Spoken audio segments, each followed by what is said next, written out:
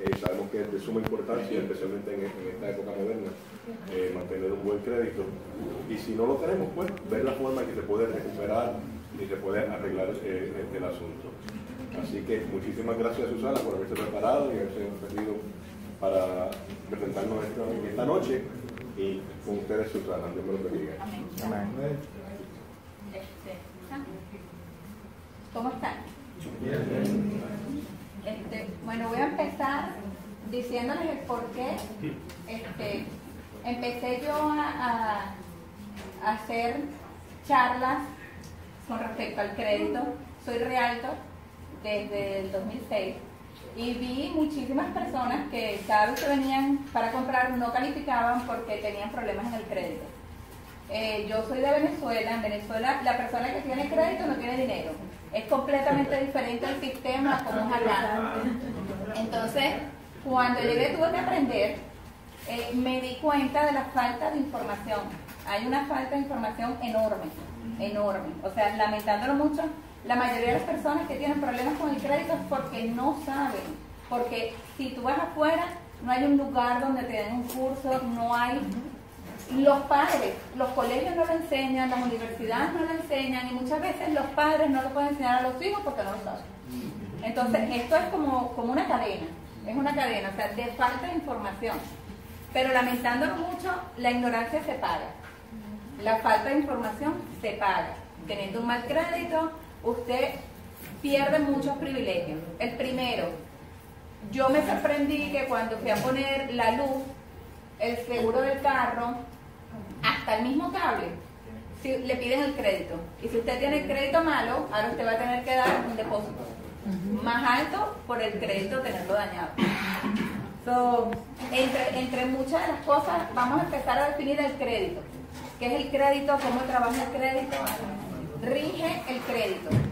Fue creada en 1971 con la intención de evitar el abuso que tenían las compañías de crédito tener una compañía, alguien que los regule y que les deje saber pues lo que, lo que, lo que tienen que hacer o lo que no, lo que pueden o lo que no pueden hacer. Es importante que entiendan que esa ley, vamos a hablar del crédito, las tres compañías que la rigen, Equifax, TransUnion y Experian. Muchas personas piensan que son regidas por el Estado, pero realmente no, son compañías privadas. Son compañías privadas que cualquiera que tenga una compañía puede llamar pagar para reportarle a usted cualquier deuda en el crédito. Se supone que hay una serie de pasos que deben continuar haciendo para poder reportar en su crédito. Lamentándolo mucho, eso no ocurre. Ellos no siguen el procedimiento, no le dejan, se supone que usted tiene que recibir una llamada telefónica, debe recibir una carta certificada y debe recibir email deben hacerse tres intentos antes de ponerle una deuda en su crédito, sea de usted o no sea de usted. Lamentándolo mucho eso no ocurre. Ellos simplemente reciben el dinero y pa, lo ponen. Hay muchas cuentas, mucha falta de información. Hay muchas personas que tienen el mismo nombre y el mismo apellido. De repente cambia el último número del seguro social o el primero y un cambio mínimo le perjudica el crédito a usted. Lo, la primer, el primer consejo que yo le doy es el monitoreo del crédito. Hay una compañía llamada Credit Karma, es completamente gratis, la puedes tener en tu teléfono.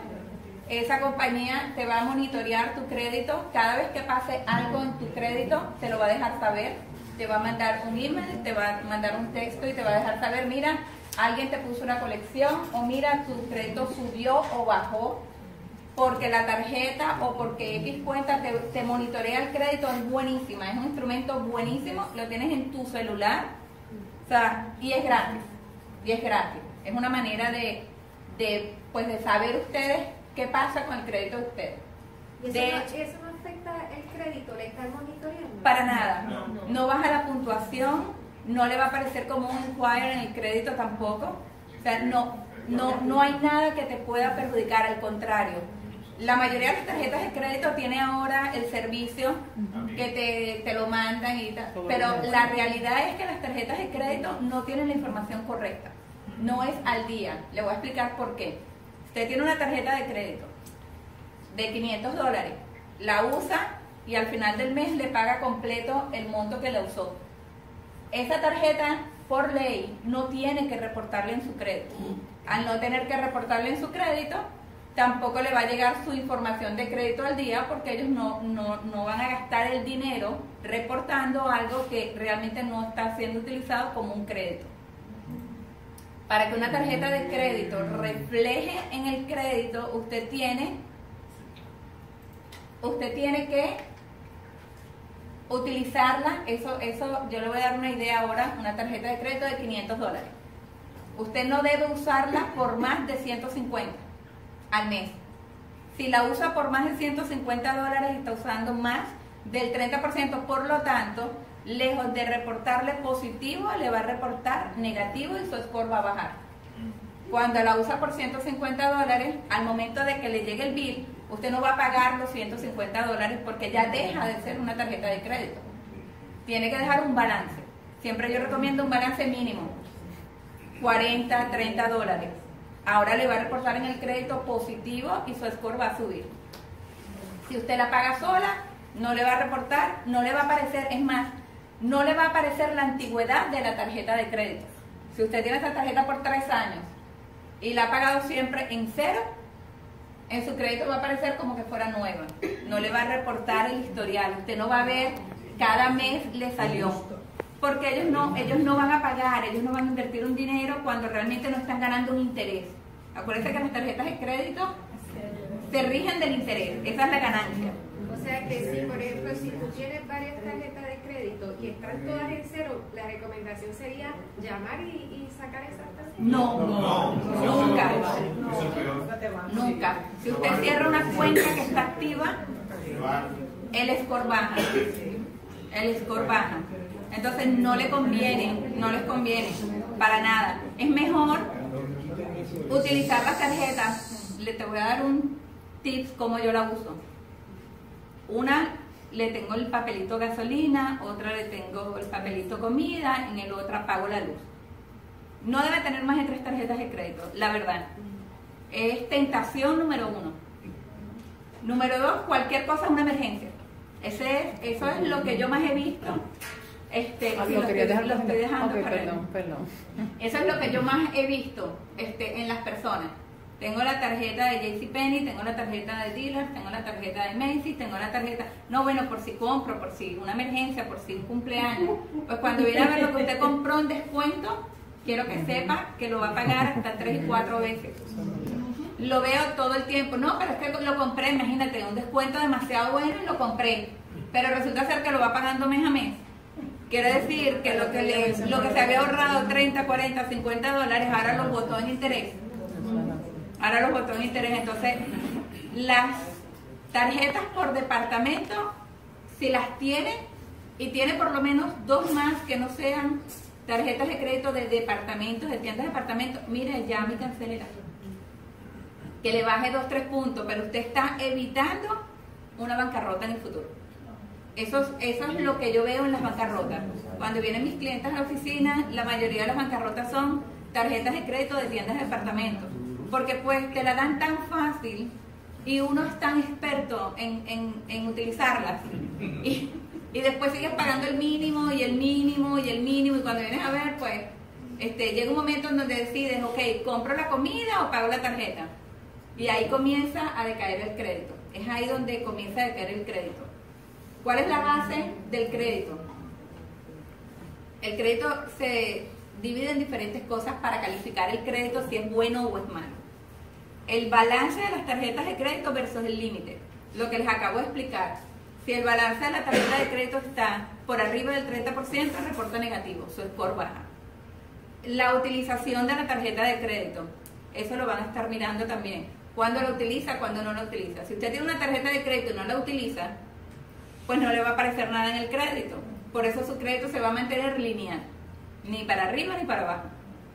Si usted tiene un crédito nuevo, cualquier crédito nuevo, cualquier crédito que usted acaba de adquirir, le va a bajar el score primero, pero en cuanto usted haga dos pagos, su score va a subir. Y va a subir bastante, puede subir hasta 30 puntos en, menos de dos meses. lo otro es la antigüedad de las tarjetas. Eso es importantísimo. Yo no te digo ah, que tengas muchas tarjetas, Uno debe tener tres cuentas. Solamente tres cuentas te crean un crédito excelente. Puedes llegar a 800 en menos de un año. A un score de 800 en un crédito, o sea, son contaditas las personas que lo pueden tener, porque es lo máximo, es el tope del crédito. Eh, es importante tres cuentas. Hay cuentas, y esto, esto me gusta aclararlo siempre que hablo de crédito, porque muchas personas me dicen, bueno, pero es que si no tengo crédito, no voy a poder, no me va a subir mi crédito. Si no tengo crédito, ¿cómo voy a trabajar el crédito? ¿Cómo me va a subir? ¿Qué tengo que hacer? Tenga el crédito, dos tarjetas de crédito aseguradas. ¿Por qué aseguradas? Porque nunca jamás le van a reportar negativo. Porque usted dio el dinero que ellos le están prestando. Si usted la usa por 200, no quiere decir que porque yo di 200 de depósito no la voy a pagar el mínimo o no voy a utilizar la tarjeta y pagarla. Usted la tiene que pagar. Pero la ventaja que vamos a tener aquí es que ahora esa tarjeta te va a reportar positivo y el día que tú no puedas pagarla, tú llamas y ellos agarran parte del depósito y lo ponen como el pago mínimo. La otra cosa importante en las tarjetas de crédito es que tenga el seguro. El seguro de la tarjeta de crédito a veces uno dice, bueno, pero ¿para qué yo voy a pagar 5 dólares mensuales por un seguro de una tarjeta si yo la voy a pagar bien? Y si mañana pierde el trabajo, ¿qué va a pasar con la tarjeta? Entonces va a decidir entre la luz, la renta, la comida o pagar la tarjeta de crédito. Pero si usted le tiene un seguro, usted bien rápido llama a su seguro de la tarjeta de crédito y le dice, me quedé sin trabajo, no voy a poder pagar en tanto tiempo, yo necesito utilizar mi seguro. Y su seguro le va a pagar el mínimo mensual por lo tanto, su crédito no va a sufrir ninguna consecuencia negativa. Esto es una idea de, los trucos que se utilizan las tarjetas de crédito para robarnos. A veces, ya va,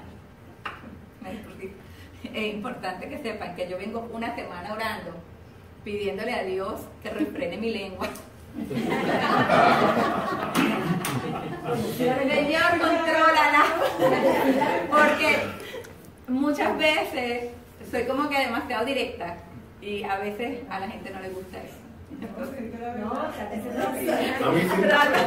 que nos roban, nos roban y no lo sabemos.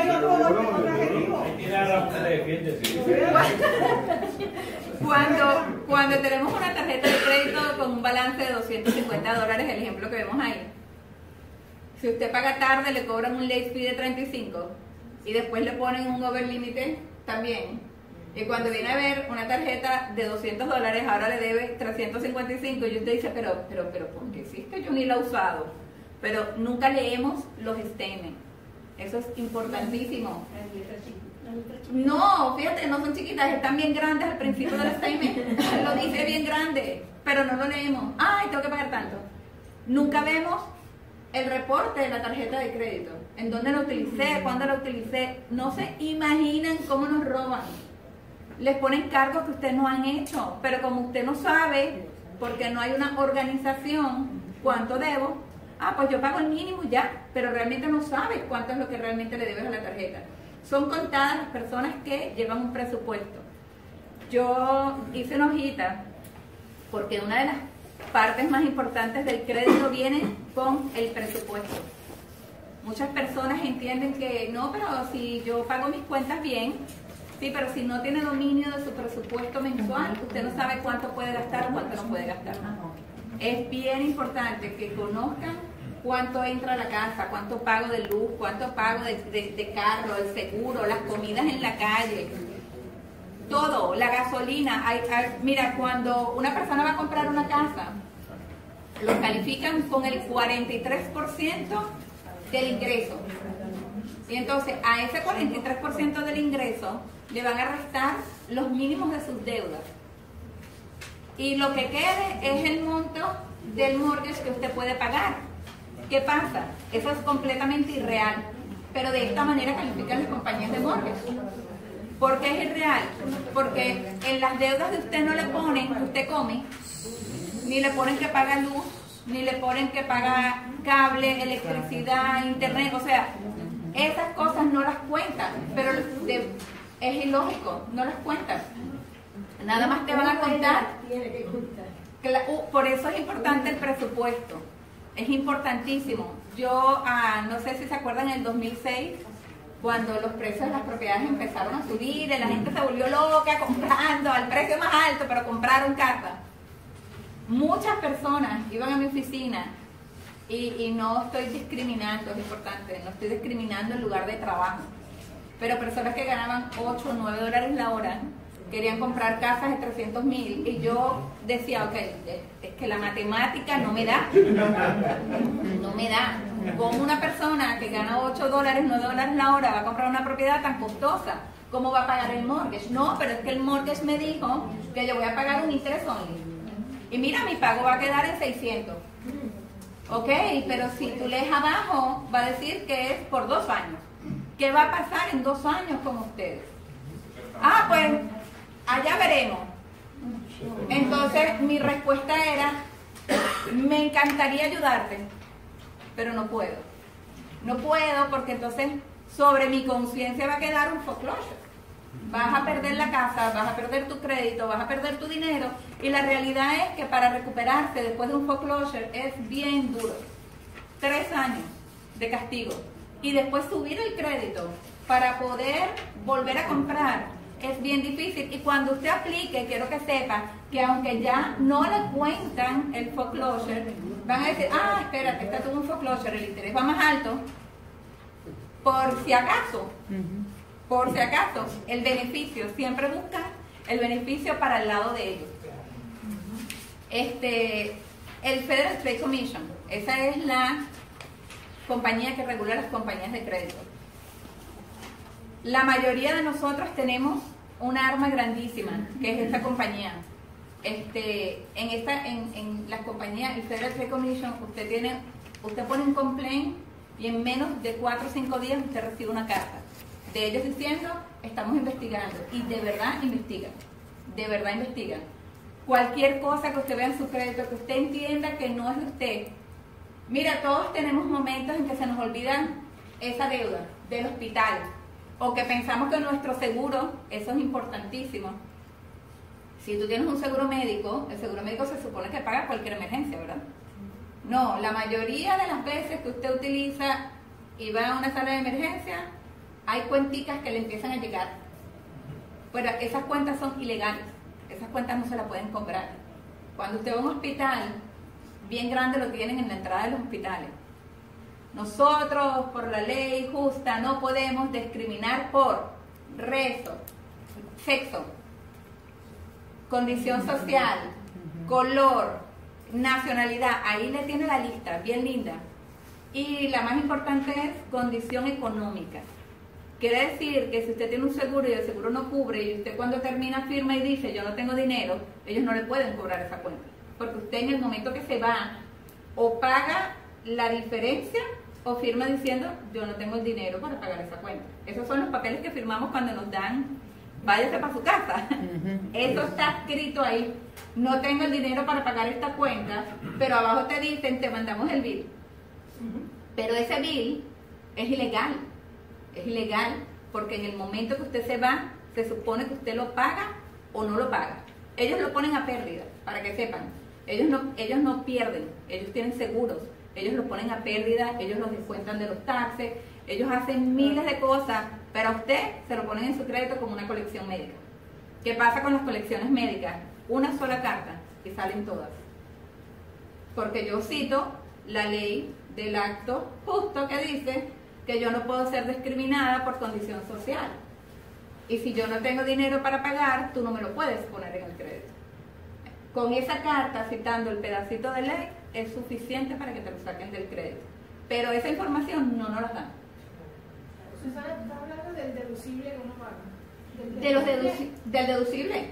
Porque, por ejemplo, mi seguro médico, mi deducible de una sola emergencia son 300 dólares. ¿ya? Y después aparece, ¿verdad? Mi amiga aquí presente. 300. Entonces me llega este de 400 y yo, y yo llamé. Y llamé al hospital. No tienes que llamar al seguro. Llamar al seguro. No tienes que llamar al hospital. Porque estuve como por este mismo en tres ocasiones. Entonces, por fin el seguro me dice que los 400 porque son 300 años es siempre un deducible de un de un 100 dólares el de emergencia cuando supone que te cubre todo te cubre todas las medicinas que yo no quiero que me pongan el suelo y todo y el cititano 400 dólares esa, esa deuda con la carta que te digo sale. Sale porque cuando tú tienes un seguro médico, eh, aunque tengas un deducible, se supone, se, se supone que no te lo pueden reportar en el crédito. Es lo que se supone. Sí, este domingo Susana va a estar en la parte de atrás después del culto. Vamos a hacer una fila con 40 personas. Es que mira, Esto creo que no va a terminar de verdad. Mira, es que a mí me llama la atención porque a mí me pasó igualito a ella. Me dieron el tingo al tango por una situación, ¿verdad? Este, que, que no esperábamos y tuve que someter un montón de estudios y me llegó un bill de 3.500 dólares. Entonces yo dije, wow, ¿qué es esto? Y y me, me puse a llamar al seguro, al médico. La cosa fue que me- yo le dije, mira, o sea, yo no estoy ya ni trabajando, yo no, yo no puedo costear eso. Y me dijo, yo lo lamento, va directamente a Collector y te vamos a dañar el crédito. Así me dijo. Pero, si conociéramos la ley, la respuesta es, "Ah, no hay ningún problema, yo puedo pagar 5 dólares al mes y no te lo pueden llevar a colección. Y ahora tú pagas 5 dólares al mes por el resto de tu vida.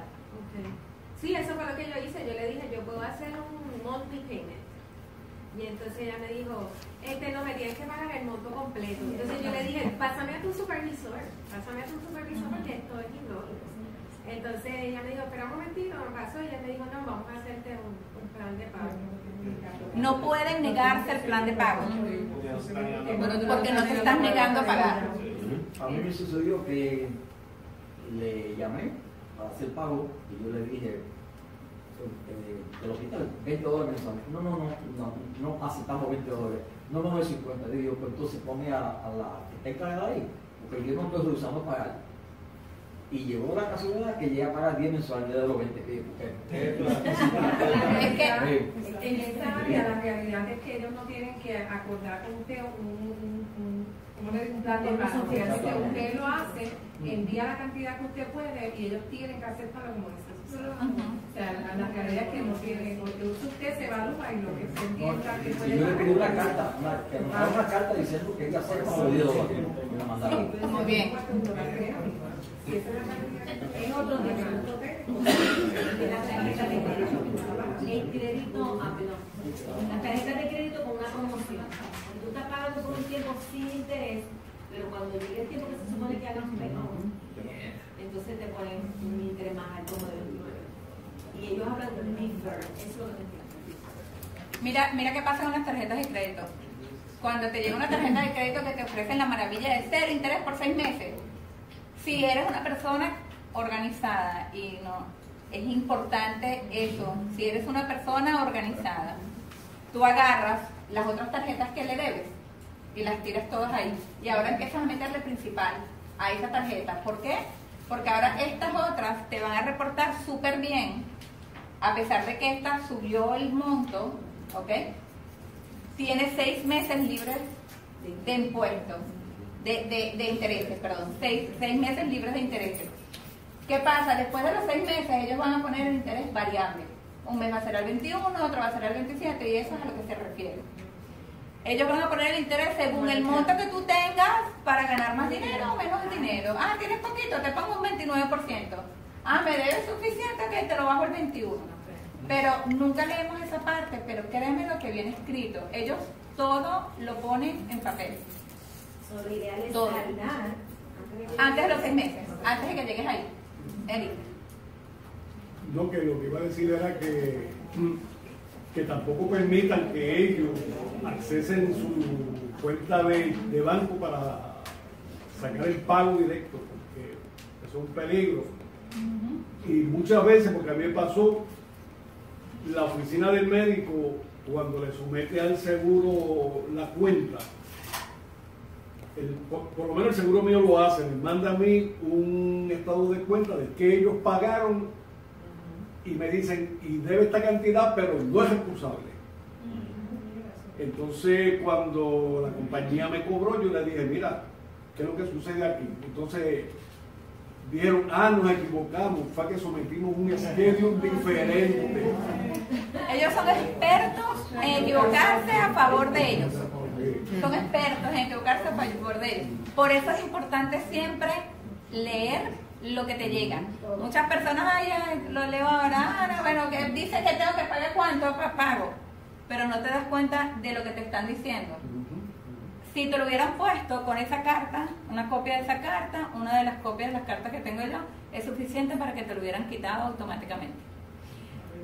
Cuando, el- cuando una cuenta nos las ponen en el crédito de manera ilegal, que no nos notificaron, no nos llamaron y no tienen grabación de la llamada, no nos mandaron una carta certificada con acuso de recibo y no tienen la firma de nosotros de que, de que sí la recibimos, nosotros podemos demandar a esa compañía de colección. Y el Federal Trade hasta te devuelve el dinero, hasta mil dólares. Otro, otra de las cosas importantes, cuando nos ponen algo así en el crédito, nosotros tenemos, tenemos la ley a favor de nosotros. Lo que pasa es que no la sabemos usar porque nadie la dice, no nos la, no nos la explican, no la conocemos. Cuando nosotros mandamos la carta, ellos tienen 45 días para contestar. Por lo general la carta que yo mando no dice, ay, mira, verifícame esta cuenta, no.